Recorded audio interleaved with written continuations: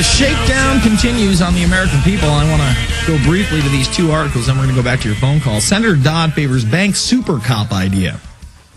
You see, Senator Dodd, who ran for the presidency, who is a prominent member of the Democratic Party, is out there promoting that the people who caused this economic crisis, the Federal Reserve Bank, the IMF, the uh, the uh, World Bank, they should regulate themselves and they should regulate all the other banks and the non-bank organizations as well.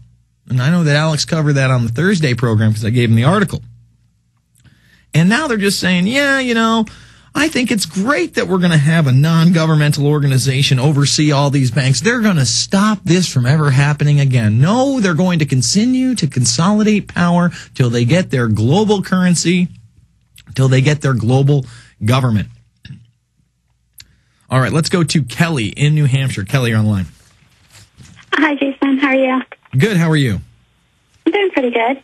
Um, I was wondering, when are you going to go back to having a nightly show?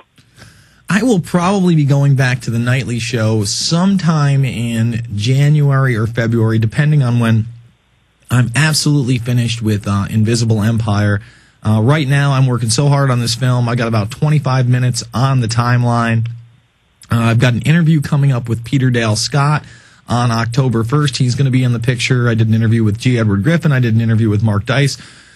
So far, those are the three people that are definitely going to be into it. But as soon as I get done with that, I'm probably going to start going back to my uh, nine to midnight show. We'll see if I keep the same time slot. I'm not quite sure. Uh, but uh, the release date for that is February 12th. So that means that I'll probably have it off to DVD by the beginning of February, and hopefully We'll have the main part of the movie done by the end of December, and January will only be sweetening. So perhaps then I will have my nightly show back.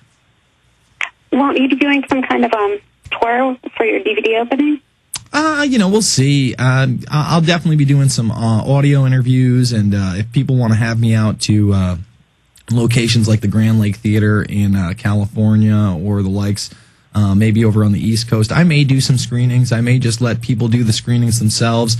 Uh, I don't know if I'll travel. I, I couldn't tell you. It's kind of all up in the air to me. It's kind of hard for me to travel too because uh, I'm, you know, I'm a single guy. I live by myself. I've got three dogs.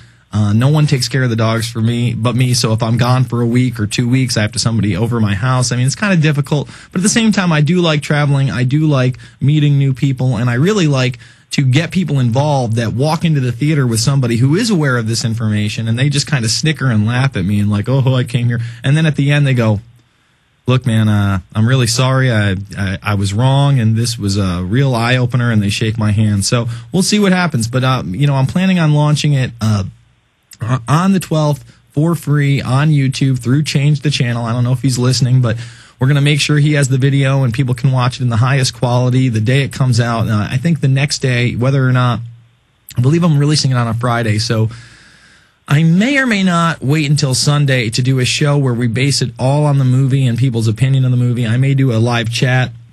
A lot of ideas up in the air right now, Kelly. Okay, great. All right, thanks. Okay. Thank you for the call. Let's go to Anita in Texas. Anita, you're online. Hi, Jason. How's it going? Good. How are you? I'm good. Listen, I got about three things, different things I want to um, ask you about. Sure. First of all, somebody told me about the movie State of Play. Have you seen that? State of Play. No, is that a Hollywood picture? Yeah, and um, they said it's got a lot of this stuff in it. You know, so I'm going to watch it. I was just wondering if you who's in that? Is that the is that the Harrison Ford picture? Um, I don't remember if he said that's who was in there or not. You know, I I, I, I keep up a little bit on pop culture. I, I I saw District Nine, and I thought District Nine was awesome, and it really had a lot of the globalist overtones in it. For instance, uh, the organization that's overseeing it is like a quasi UN corporation organization, and it's all about redistributing these aliens from one concentration camp to another. And during that, they're talking about permits for children, and really a lot of these. I mean, they they go into uh, the the bureaucratic mindset. It's an excellent film. I really uh, I recommend District Nine to everybody. In fact, the the uh, the UN type organization even had like a Baphomet type logo as their logo. It was like kind of a goat's head. It was it was definitely bizarre and, and it was good. But I will check out State of Play. What else you got for me, Anita? Okay, um, Anita, hold over. We're, we're about to take a break. Hold hold over. I'll hold you over to the next break. We're going to go to Anthony and a lot more. It's 888-201-2244. The Info Warrior with Jason Bermas. How would you like to be charged $200 for a 911 call? Well, it's on the horizon in some of the poorer counties out there because the economy's collapsing and we have to take drastic measures. We'll be back with your phone calls after this. It's the Info Warrior.